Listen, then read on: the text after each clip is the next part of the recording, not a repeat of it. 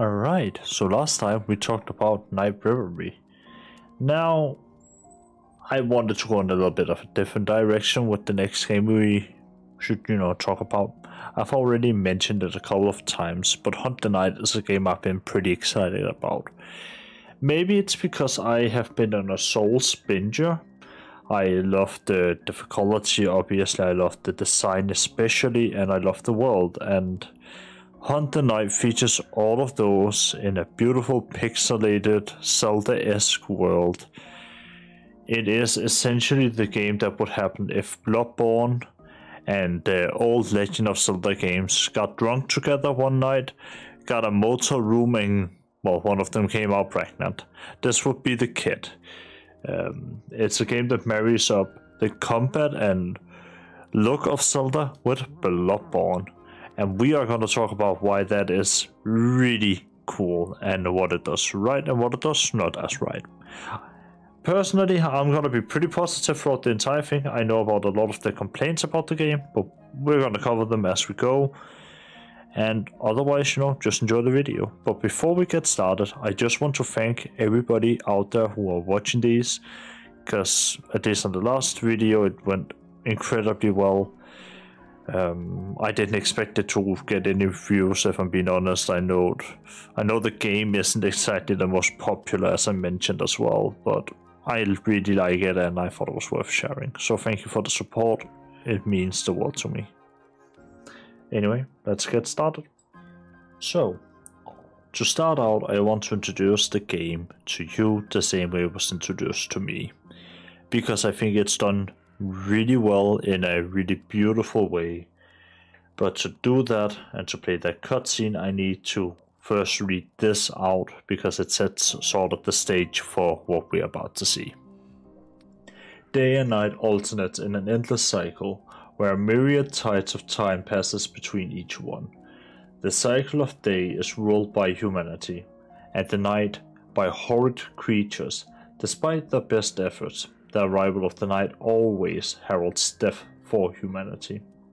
In the nine, ninth age of man, far beyond the twilight, only two things keeps humanity from total annihilation. The Moonlight and the Stalkers. And now in play the cutscene.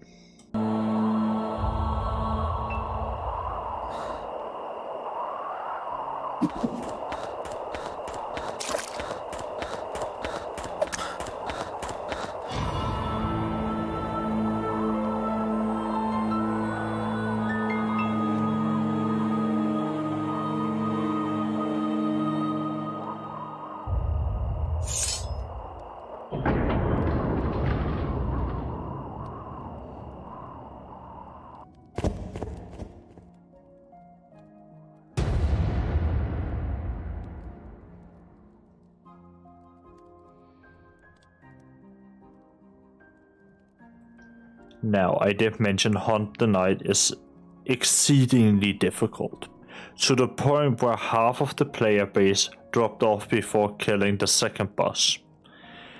I have seen and read reviews where they call it wonky and shit because, well, they really didn't get further than the second boss, according to themselves anyway.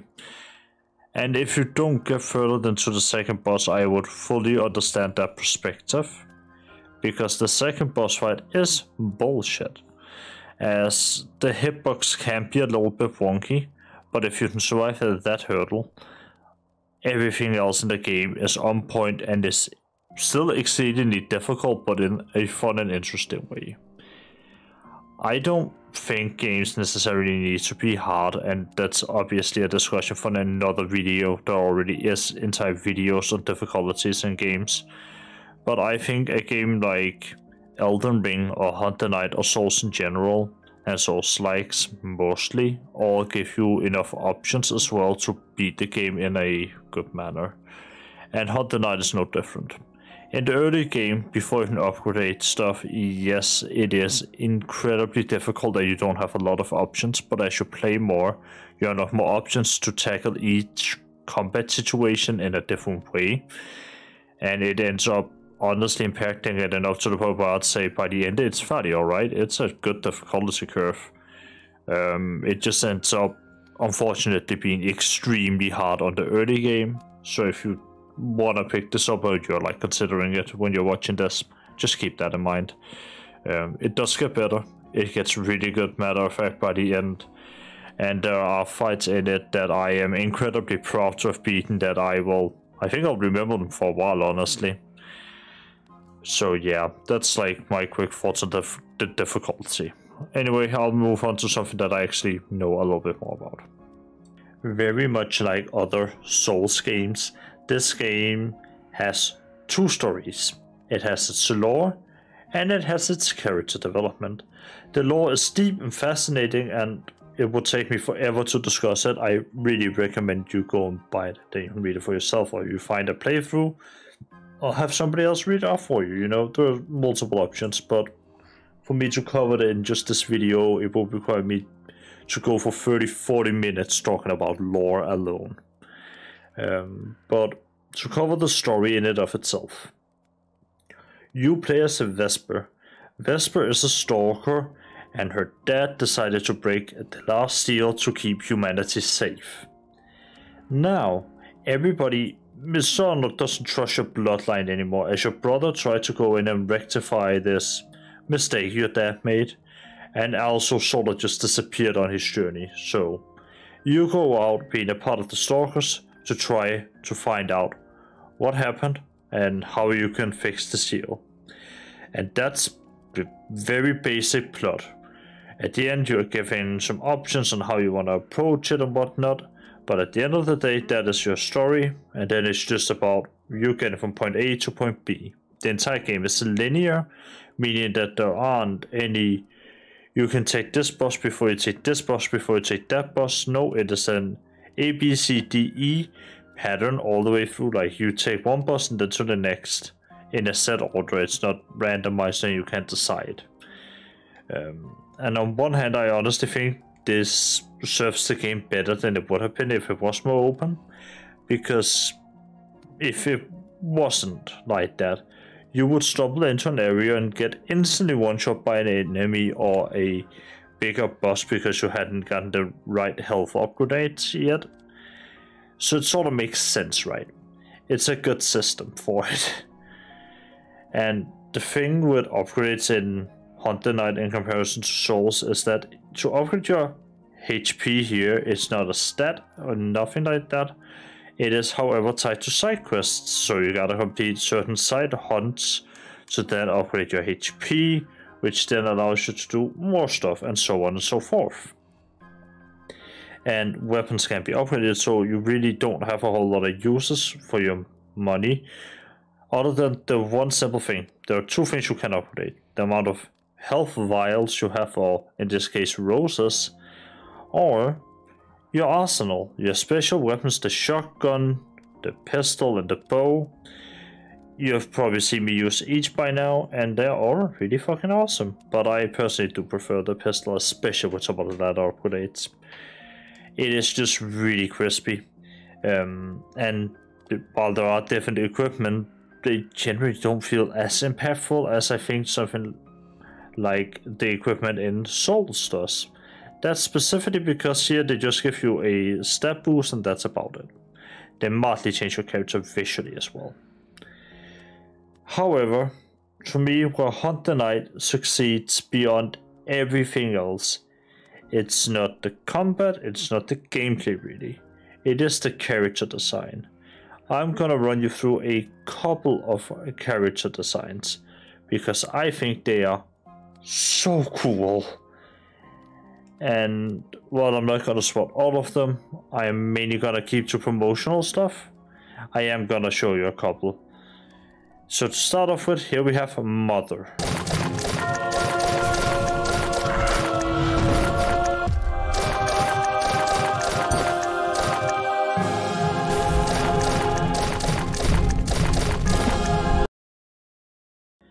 And here, right after Mother, we have Crevens.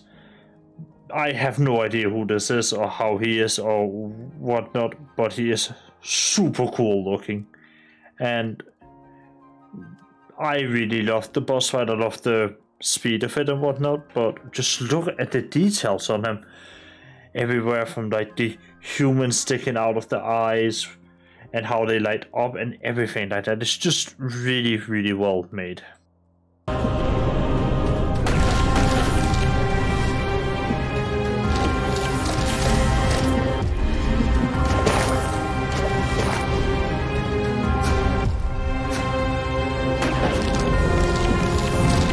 How can we talk about any of this without talking about one of the things I like to talk about the most?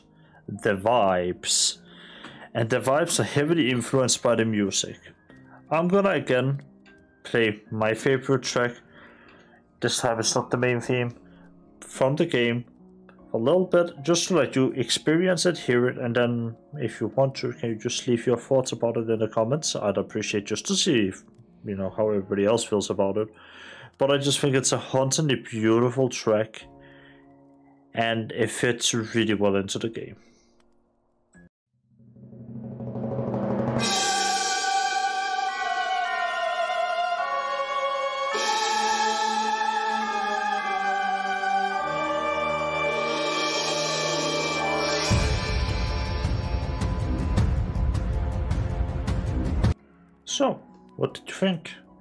Personally think it's really good.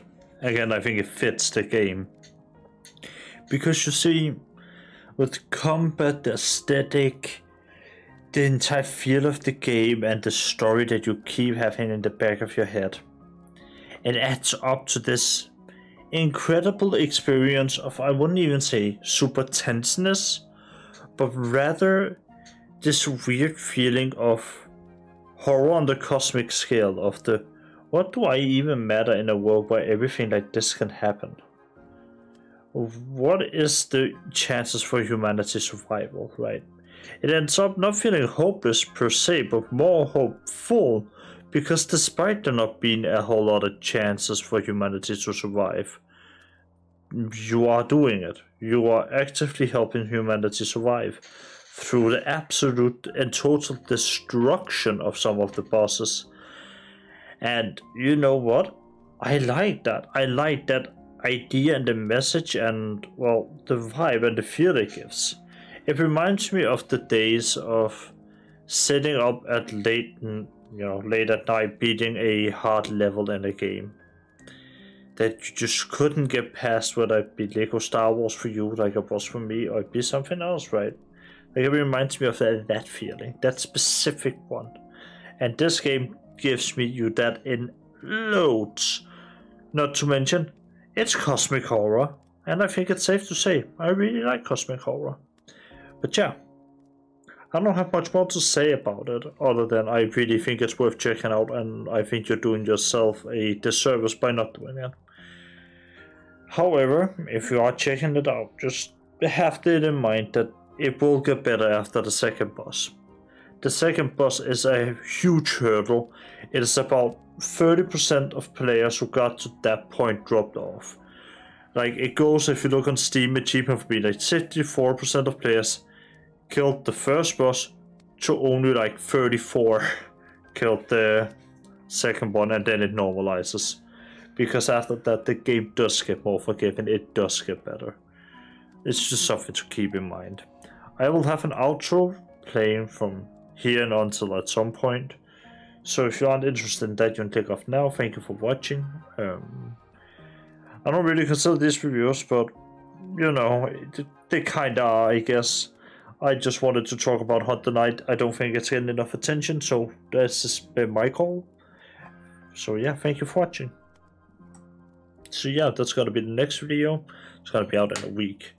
But yeah, I'll get over to finishing up the Hunt the Night video. I hope you all enjoyed this. If you did, I suppose do the YouTube stuff like leave a like, subscribe to me if you really want to. I'm not gonna force you. If you don't, then don't worry about it.